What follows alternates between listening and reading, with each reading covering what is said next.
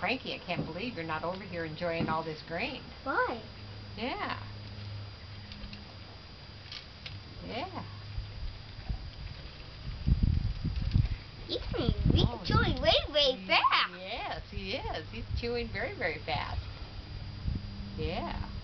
See, Sean's telling Frankie, don't you come over here.